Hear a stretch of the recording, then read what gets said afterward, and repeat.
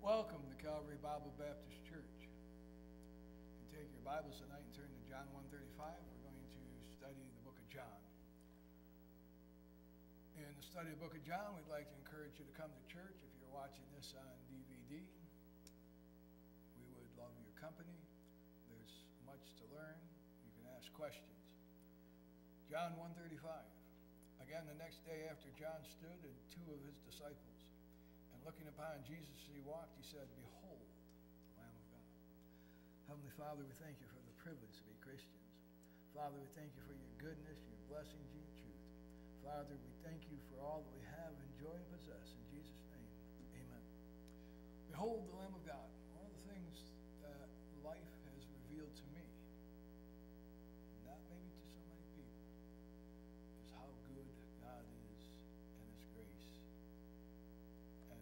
Gentleness of the Lamb of God. And some people say, well, that's contradictory to the Old Testament Jehovah.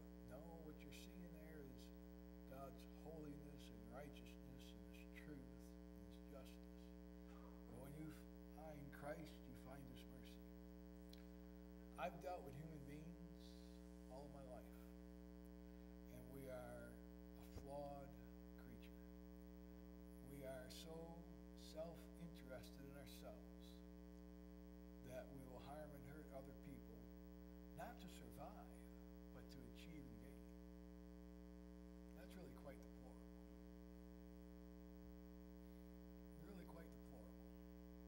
For all have sinned and come short of the glory of God, for there is none righteous, no, not one. The disciples actually had the privilege to see God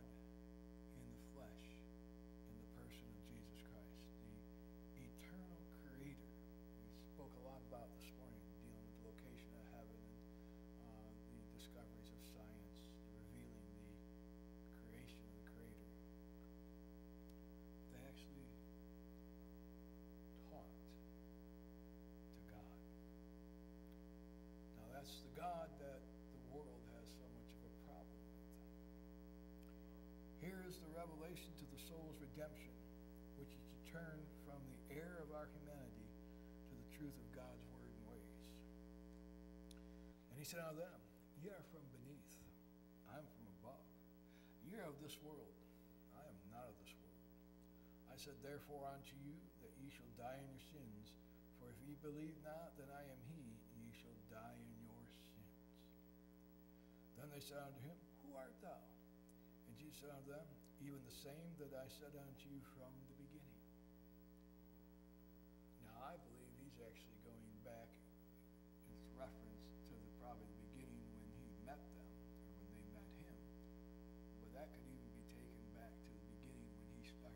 his relationship with humankind and Adam and Eve in the garden. The Almighty. What is this gospel repentance? Well, I know what we say and the words we use, and they're probably not always correct, and I'm not going to strain at this because many of people have gotten saved with these words. But the gospel repentance turning from the common error of humanity, from unbelief to true faith, from the error of human sin to the truth of Jesus Christ as the Lamb of God, the Savior of the world. Now, we usually say, repent of your sins and trust Christ your Savior, but that's not really ever found in the Scriptures, repent of your sins. It's repentance towards God and faith in our Lord Jesus Christ. And what that repentance really is, is to turn from all error and turn to the truth and Jesus Christ as the Lamb of God. To actually see the revealed Jesus Christ in the Scriptures as the Lamb of God that taketh away the sins of the world. You need Jesus Christ for your redemption. And you need to see him as he is, God incarnate. Nothing else will do for redemption. Now, I'm not arguing with Christians, if you want to say repentance of your sins, but it's really repenting from Unbelief or erring belief to true belief and faith in Christ. When we're not following him in true faith, we're going to be sinning. And he came to save us from our sins because our sins were condemned us. I understand that. But it's really when you see Christ as the Lamb of God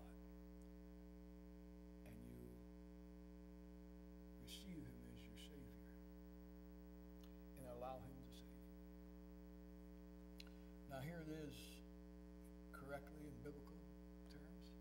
And how I cut back nothing that was profitable unto you, but have showed you and taught you publicly and from house to house, testifying both to the Jews and also the Greeks, repentance towards God and faith toward our Lord Jesus Christ. It's when you as a human being stop thinking you're okay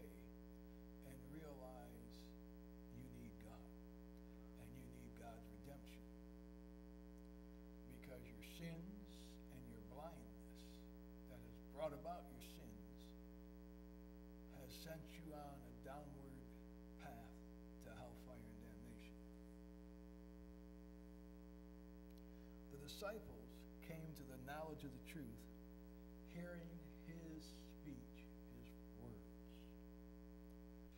And the two disciples heard him speak, and they followed Jesus. That's really so important salvation.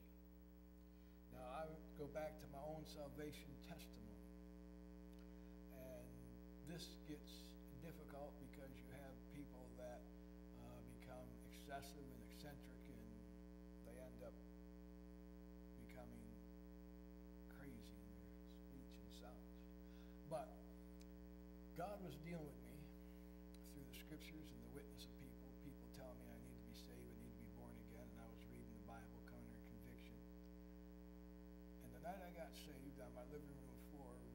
scriptures, I got saved in the book of Hebrews. Now, faith is the substance of things hoped for, the evidence of things not seen. I had come to understand a lot of things, but I didn't understand what this faith was. And when I came to the conclusion and realization and understanding, the enlightenment, that biblical faith was to trust God at His Word and trust Christ as my Savior. God saved me. And it was, though He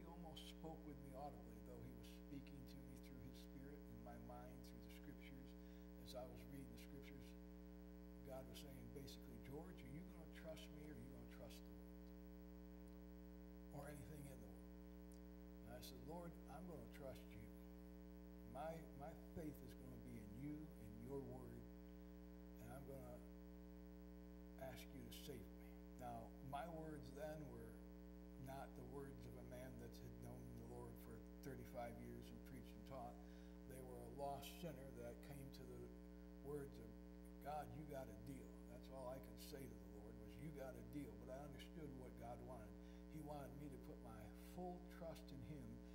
as he is and as he's revealed as God incarnate, the Savior of the world, in the shed blood of Jesus Christ. And that thing clicked.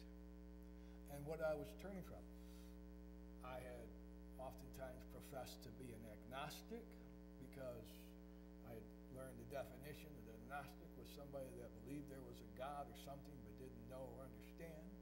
I had gone to Sunday school as a kid. I had attended church. I had received some religious instructions, but I had never had a moment of conversion. I had, I had been taught some things. Then uh, I started uh, asking God to show himself and reveal himself to me and reveal the truth to me.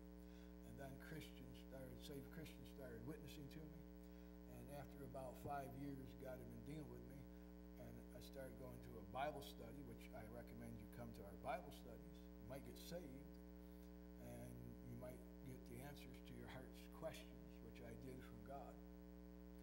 am I? Where am I going? What is the purpose of my existence?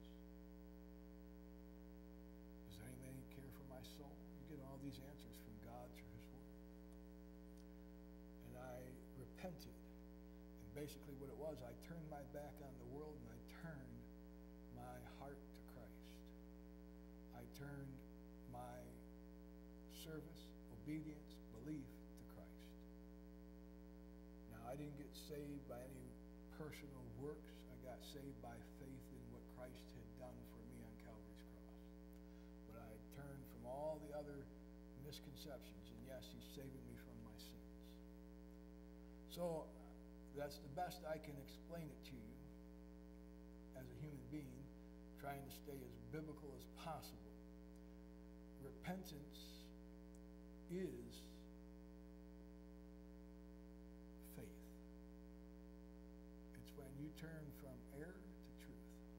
the best to say.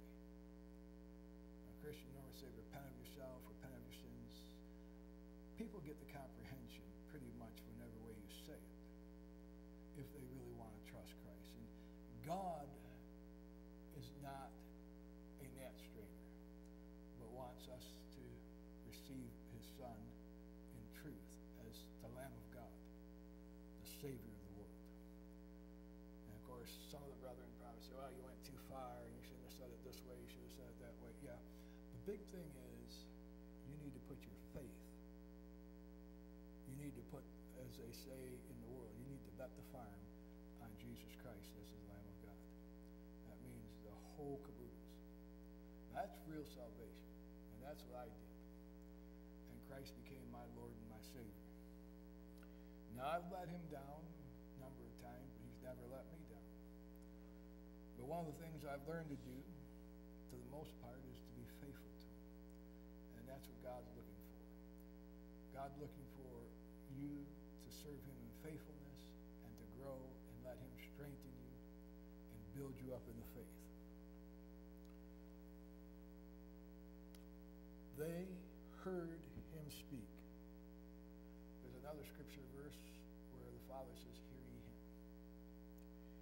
it's this spiritual hearing from the words of God, the truth of God. Faith cometh by hearing, and hearing by the word of God. We get converted to the truth through hearing the word of God. It is for this reason that redemption comes to the soul through the foolishness of preaching. For after that, in the wisdom of God, the world by wisdom knew not. It pleased God by the foolishness of preaching to save them.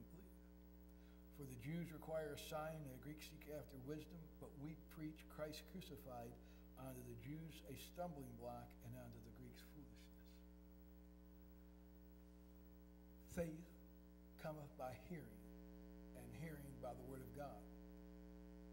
The reason many people are not getting saved in many churches because they're telling stories, fables, they're entertaining, they're doing everything but preaching and teaching the Word of God and bringing people to the point that they're hearing the words of truth, the words of God, the words that can convert them and save their soul by putting their faith in Jesus Christ, the Lamb of God. Every soul at an early point in life asks the eternal questions Who am I? What's life all about? Where am I going when I die? What is the purpose of life? What is my life? God answers these questions. Then Jesus turned and said, saw them following and said unto them, What seek ye? They said unto him, Rabbi, which is to say, be interpreted, Master, where dwellest thou? Now, they were looking for fellowship with God. Now, one of the reasons I believe that the Lord saved me is because at about 17 years of age, I came to a negative point in my life where these questions were haunting me. And I fell on my knees I prayed to the God of the universe. And I prayed in what I knew. I said, Well, I've been taught Jesus, uh, heard other things. I just see a tremendous creation out there. That's why I'm an agnostic. I believe in God, but I don't know who or what. And I asked God to show me the truth. And then for the first time in my life, people started witnessing to me and talking to me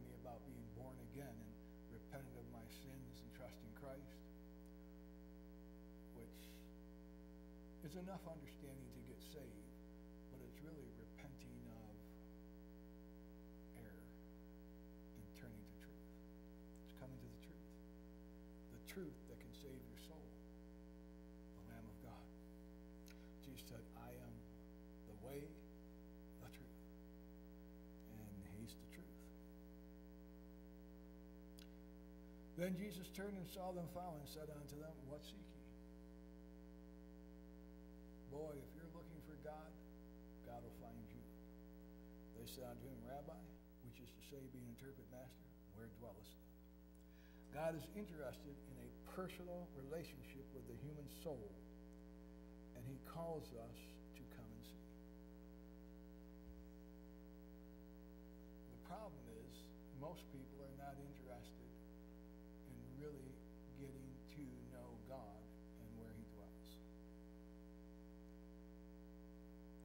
He said unto them, Come and see. They came and saw where he dwelt and abode with him that day, for it was about the tenth hour. Andrew was first converted by the words of Christ. He beckons his brother to come and see the Messiah that he has found. One of the two which heard John speak and followed him was Andrew, Simon Peter's brother. He first findeth his own brother Simon and saith unto him, We have found the Messiah, which is being interpreted the Christ. Now, we were just talking a little bit tonight about soul winning visitation. But you know how the gospel is to really be spread? You win somebody to Christ, they come alive to the knowledge of the truth of salvation,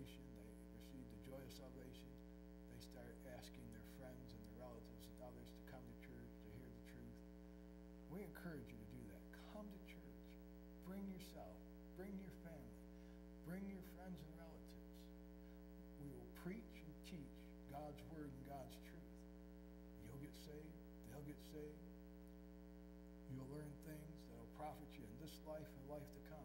Godliness is profitable in this life and the life to come. There are things that money cannot buy that only God can grant. You cannot buy righteousness. Character is only learned. You learn it from somebody that has character. Righteousness. Joy. Joy is something you cannot buy, happiness and joy. Happiness is a carnal thing. I'm not against happiness. The Bible uses the word happy. You get happiness.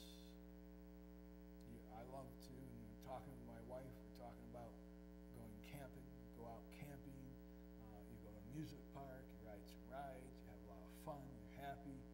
You can purchase that. But that's a very limited experience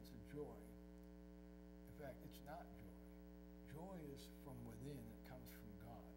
There's a when you have a relationship with God through knowledge, where you have peace with God, and you then start developing peace in your life, and, and that peace with God gives you peace within, within your soul, within yourself, then it produces joy.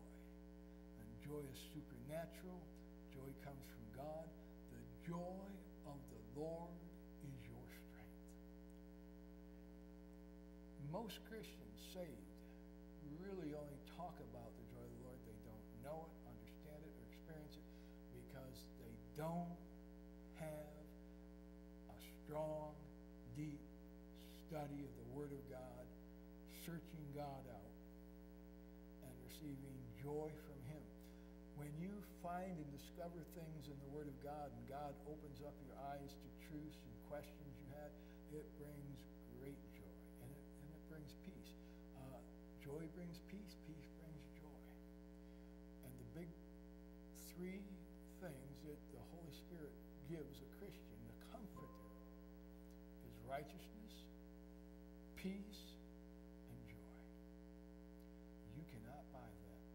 It's a gift from God, and it requires a new birth to even really think about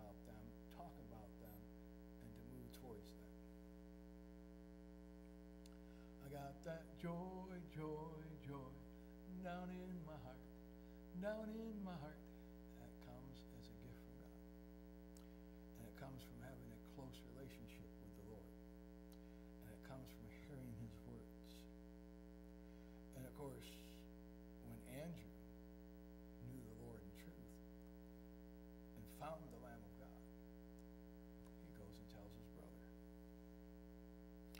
Soul winner's work is to bring men to Jesus Christ.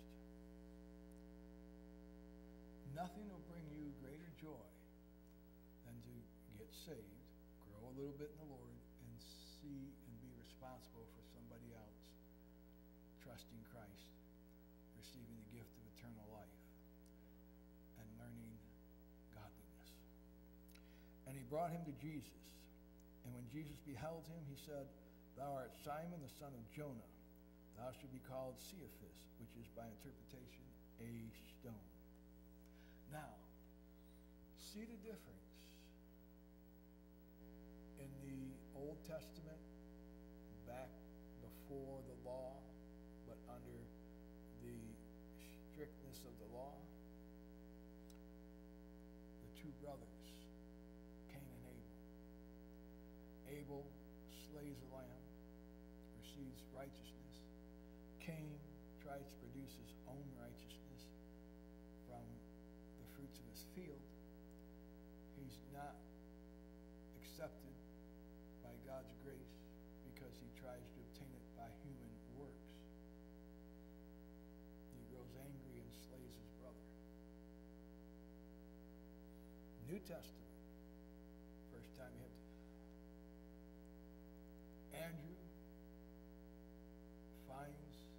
Messiah, the Lamb of God, and he goes and brings him to Christ. The two brothers come together in grace.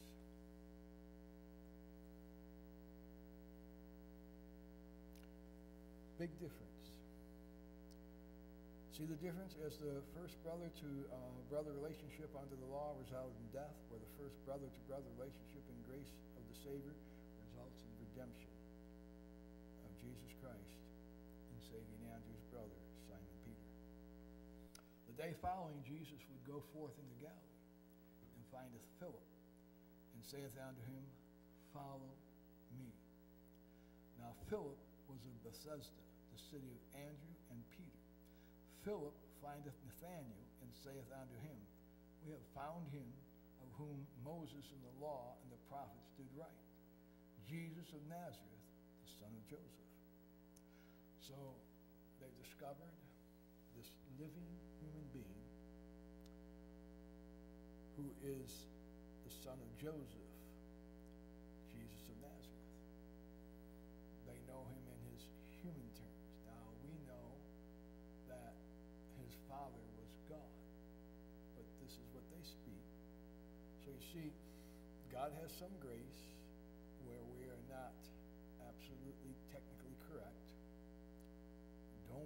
about it if you understood the gospel and you repented of your sins and trust Christ as your Savior, you got saved. I'm, I'm just trying to be more accurately descriptive. That you're turning from darkness to light. See, that's the simple. From darkness to light.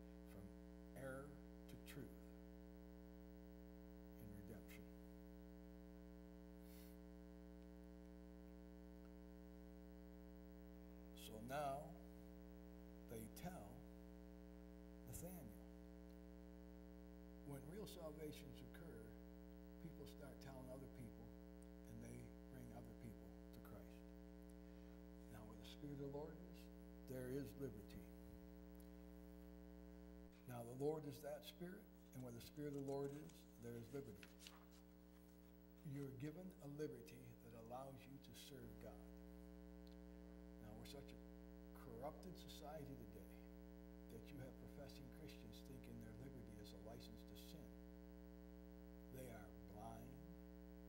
The only thing you can say is, Father, forgive them, for they know not what they do. They're as blind as those that crucified the Messiah. Saved or lost, it doesn't matter. Their lust, their carnality, their sin, their covetousness has blinded them. The Bible is very clear. Be uh, wise as serpents and harmless as doves. Christians aren't hurting people. Christians are bringing people to Christ and teaching people of Christ, which is the good way. The spirit of liberty. It's a liberty to serve God, which we didn't have before because our sins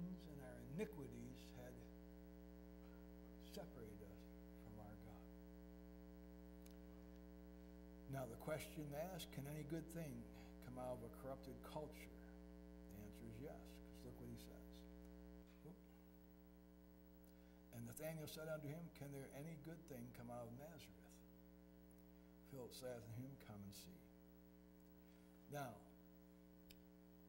this fella, Nathanael, is what we call a basically good man. Now, this is the undermines a lot of people in their thoughts. There are a lot of people that are raised right, trained well, that have basic good morals and character. But they don't have sinless morals and character. The Bible is very clear, for all have sinned and come short of the glory of God, for there's none righteous, no, not one. Now, Nathanael has some basic good character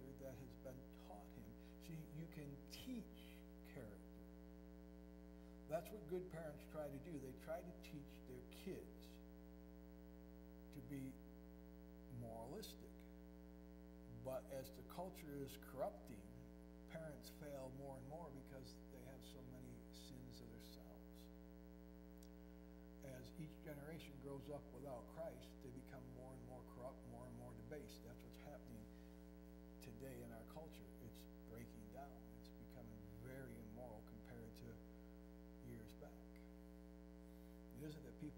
sins, for all have sinned and come short of the glory of God. For there is none righteous, no, not one.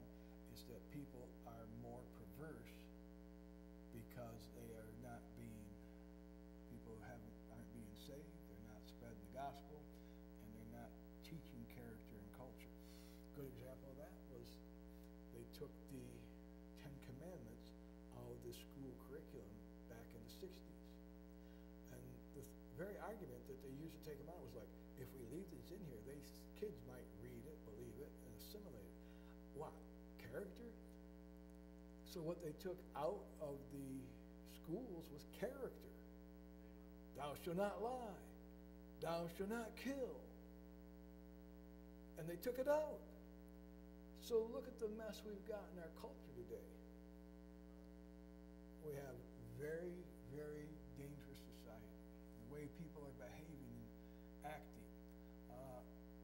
friend, I don't care whether you were for or against Trump or Obama, it's irrelevant.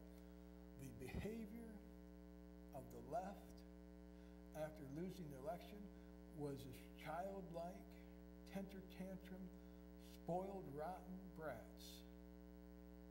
It was deplorable.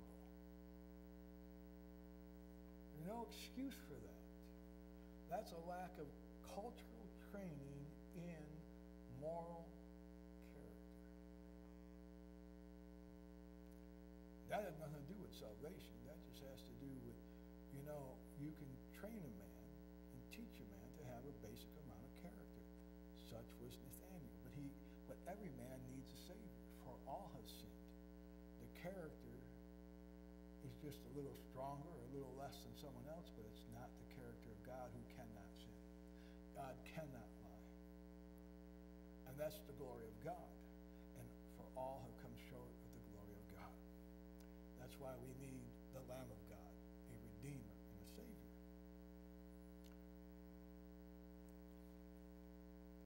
Jesus saw Nathanael coming to him and said of him, Behold, an Israelite indeed in whom is no guile. Now, the fellow doesn't have any guile. He doesn't have any deceit. He's not crooked. He's a very moralistic character, though a sinner. But Jesus saw developed character. Nathan- Nathanael believed himself to be that way. Nathanael said unto him, Whence knowest thou me? Jesus answered and said unto him, Before that Philip called thee, when thou wast under the fig tree, I saw thee. Now, you need to realize he's dealing with a moralistic law that understands Jewish history and understands many things in the Old Testament. Because that's where he's picked up this character from. And he's not a person with guile. He's not trying to deceive and achieve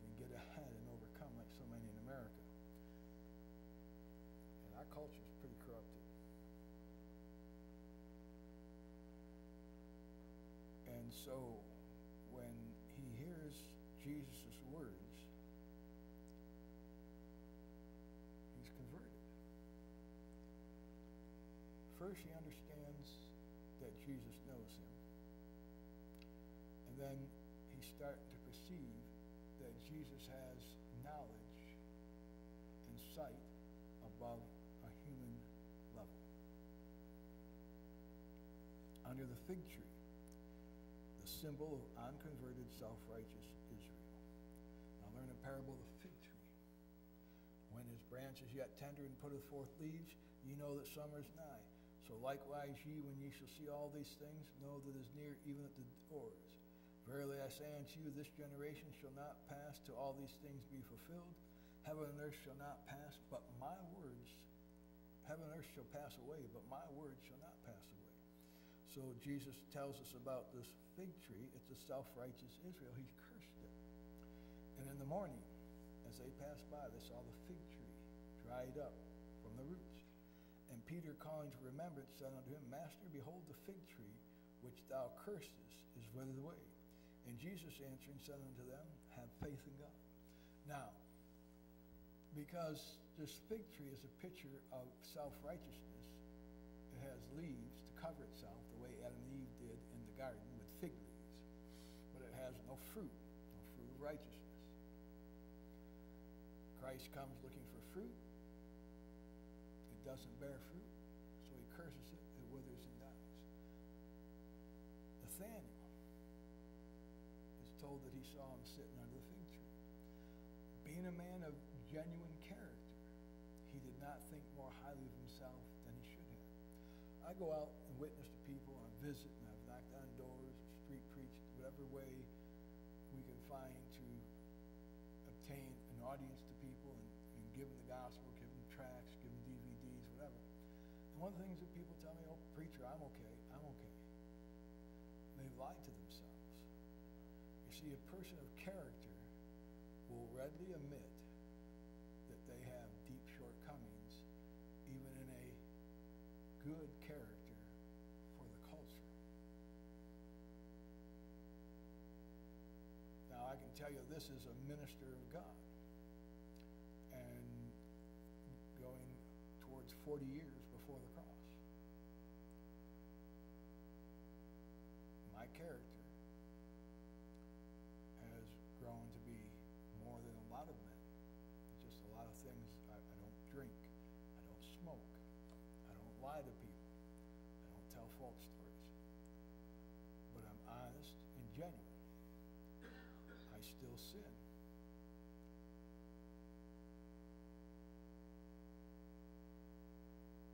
Of God. You say, where do you get that from? Well, I don't lie to people and I don't lie to myself. But I know I could and I would to protect myself from harm. You say, why is that? Personal law.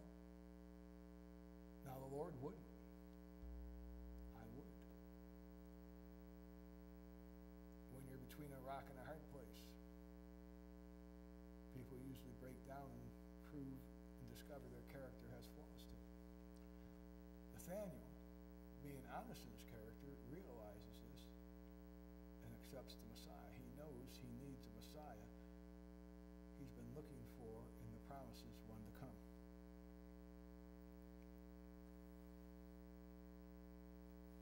Nathanael answered and said unto him, Rabbi, thou art the Son of God, thou art the King of Israel. What a statement. A statement of conversion. He has seen that Christ is the Son of God. He's the future King of Israel. Where the soul is not filled with deceit of self-righteousness, it discovers the truth quickly.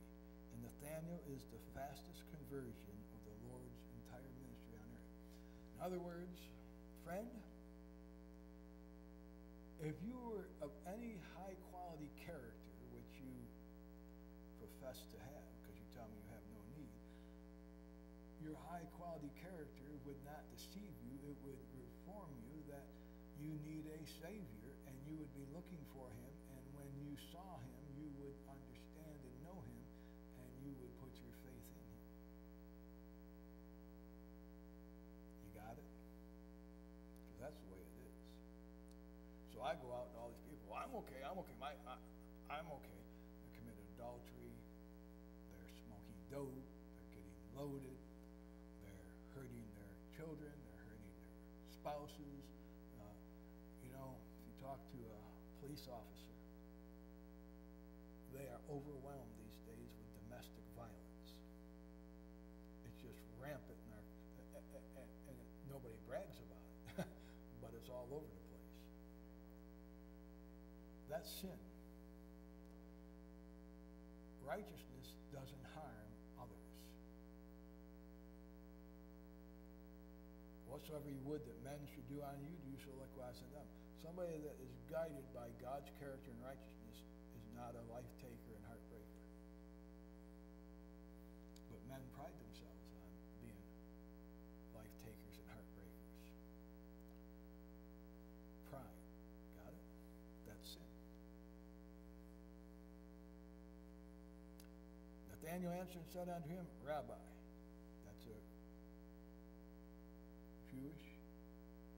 leader, thou art the Son of God. That's God incarnate. That's God walking the earth as a man. Thou art the King of Israel. That's the future. He sees it all. He's the fastest conversion. You know, you run little children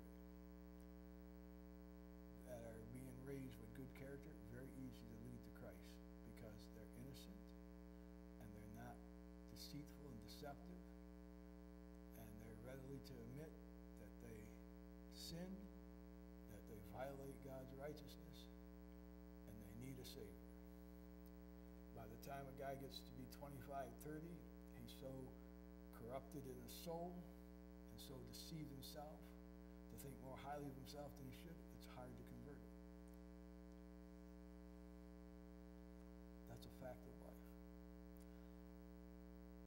I, by God's grace, got saved at 24. I was getting on the edge of darkness.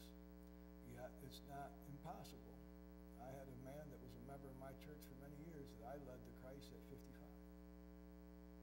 Anybody can get saved. You just got to be honest with God and see the truth. Behold the Lamb of God that taketh away the sins of the world. Your sins got to be personal. There is a personal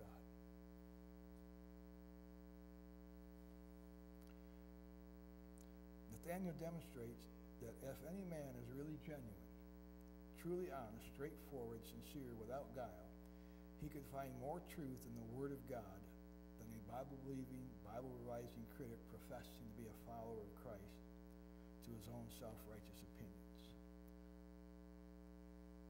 He saith unto them, How then doth David in spirit call him Lord, saying, The Lord said unto my Lord, Sit thou on my right hand till I make thy enemies thy footstool. If David then called him Lord, how is he his son? And no man was able to answer him a word, neither durst any man from that day forth ask him any more questions.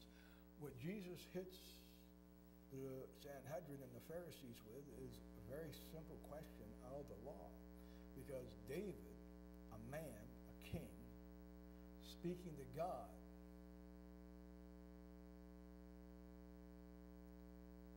utters these words, Christ asked them what it means, and they cannot answer.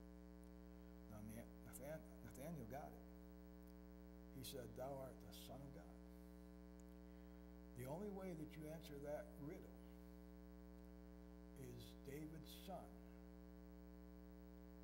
has to be God incarnate.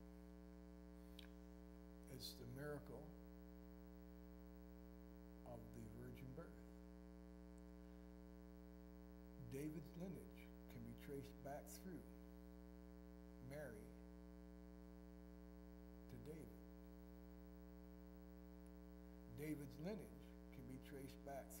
Joseph to David. But Christ comes his father is God and his mother is Mary. And he's David's son, but he's his God. He's God incarnate. He's the Lamb of God that taketh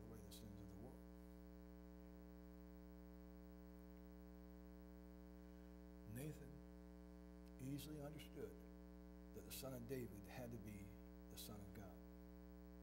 Jesus answered and said unto him, Because I said unto thee, I saw thee under the fig tree, thou uh, believest thou? Thou shalt see greater things than these. Nathanael demonstrates that truth. I'm going to say it a second time. If any man is really genuine, honest, straightforward, and sincere, without guile, though a sinner, find out more truth than all the Bible critics and all the religious folks that pretend to be Christian. Hear, for I will speak of excellent things, and the opening of my lips shall be right things. For my mouth shall speak truth. That's what we said this morning. If you will reject the truth, then all that's left to you wickedness is an abomination to my lips. Wickedness. Now, that's what you're going to find. Religious people only take on a profession for a covering and a cloak to hide their wickedness. Let me come on there. Bring me back up on the screen. I'm going to tell you something.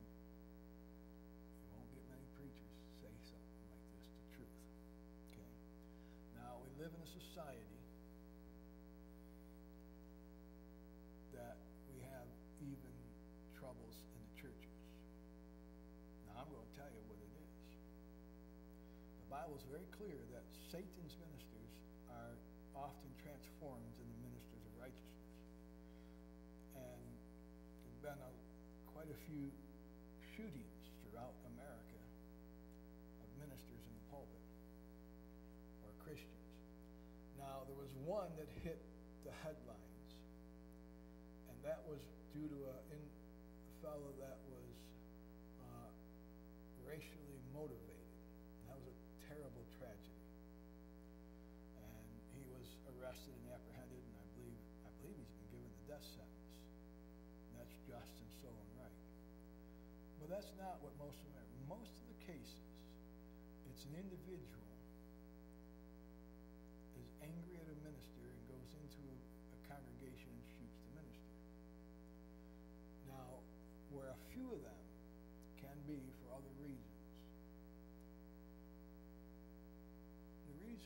a lot of ministers, professing ministers, get in this trouble is because they've been fooling around with somebody's wife and taking advantage of their position. It's called sin. It's called adultery. And what happens is somebody discovers it, and in a fit of rage and anger for the betrayal,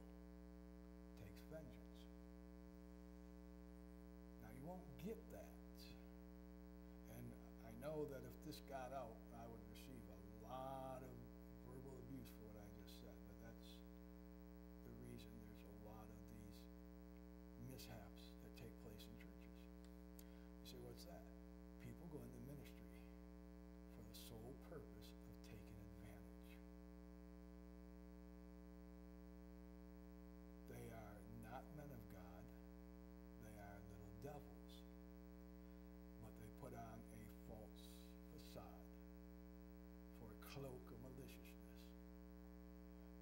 devil is uh, very happy with this because it defames the truth of God. It defames the ministry. A major church, the Roman Catholic Church, because of its methodology and way of recruiting their priests, ended up with many pedophiles sexual offenders. It was a major scandal. False prophets, false teachers.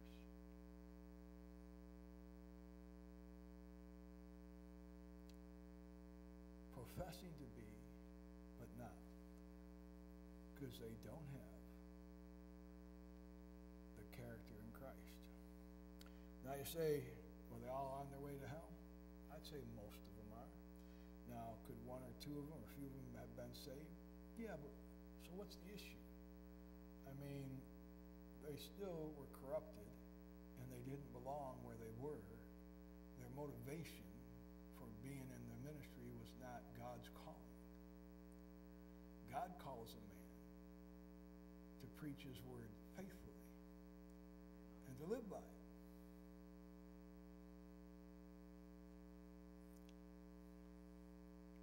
He doesn't take advantage of his position if he's called of God.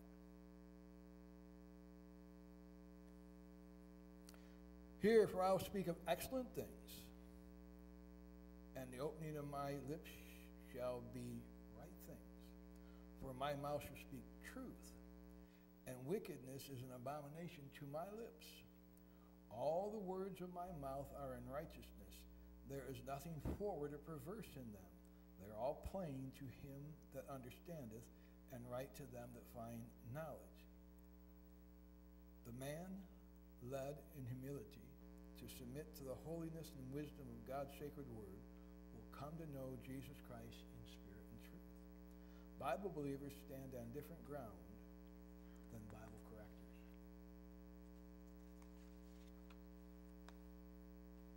Bow down thy ear and hear the words of the wise, and apply thy heart unto my knowledge, this God's knowledge. For it is a pleasant thing if thou keep them within thee they shall withal be fitted in thy lips, that thy trust may be in the Lord. I have made known to thee this day, even to thee. Have not I written to thee excellent things and counsels and knowledge? Godly humility brings the fruit of God's word to bless the soul in godliness. Thou, through thy commandments, has made me wiser than my enemies. Now you gotta be very careful with that. That that if that is not read in humility, that is the steps to the fall. Thou through thy commandments has made me wiser than my enemies. Doesn't mean that you are. That means when you obey God's words, you become that way. For they are ever with me. And boy, since I've been in the ministry, just preaching the gospel. It's, it's, it's, it's, it's a most wild and absurd thing to have understand. You see what is happening with your presidents.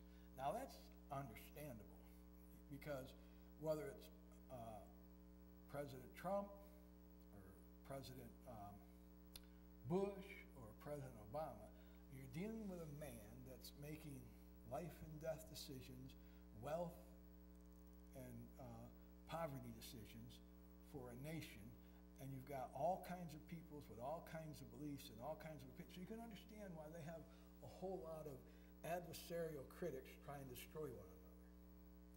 And I'd say that's the right way. That's not Christian. That's well, that's understanding life. Now, when you're a Bible preacher, you're telling people how to get saved truthfully and biblically for their soul's redemption for all eternity. And then you're telling people how to live to glorify God and bring the blessings of providence upon their life with righteousness, peace, and joy. So, who would be your enemy? It's like if you want to sin, go to the bar on Sunday afternoon and get loaded and get stoned. What has a minister got to do with you? And if you want the truth, then why don't you just receive it? But in a small microcosm, every single Bible believing pastor has that same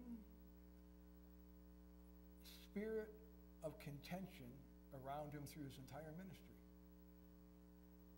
It's quite bizarre, but it's real. I've been accused of every crime under the sun.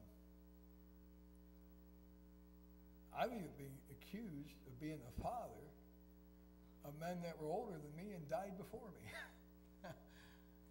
that is wild.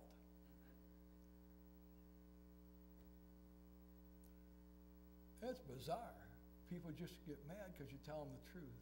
You know what it is? You tell them the truth, for all have sinned and come short of the glory of God. And people take it personal. Boy, people cannot. Reproofs of instruction on the way of life, but people can't handle the truth.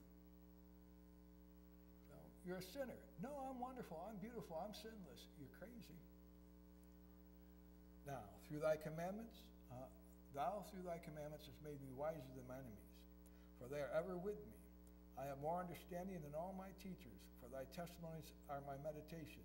I understand more than the ancients, because I keep thy precepts. I have refrained my feet from every evil way, that I might keep thy word. I have not departed from thy judgments, for thou hast taught me. How sweet are thy words unto my taste, yea, sweeter than the honey to my mouth. Through thy precepts I get understanding, therefore I hate every false way. A man that's walking in the Spirit starts to have a hatred and abhorrence to unrighteousness. Doesn't want to play the game of life in a wicked way anymore. Now, when I repented and trust Christ as my Savior, my life changed dramatically forevermore. You won't find me in alcohol or drugs. You won't find me at the gambling casinos. You won't find me in the houses of prostitution. You won't find me in the ways of the world. You'll find me at home with my wife, and my children, in my church, You'll find me in Bible study and testifying. Now, see, I'm not going to deny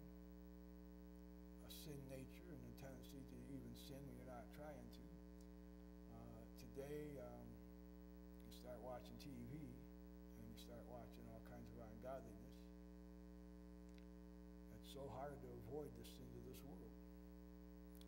The best thing, and preachers have recommended it, but nobody will do it, says, I'll set no evil thing before my eye.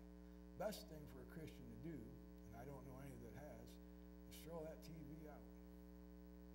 But everybody says, Amen, preacher, preach it, and nobody does it, including the preachers. So I'm being honest with you because I got a TV, and I guess I'm complaining. That would be something Oh well. I didn't need to give anybody any more ammo. People can make up so many wonderful things about me.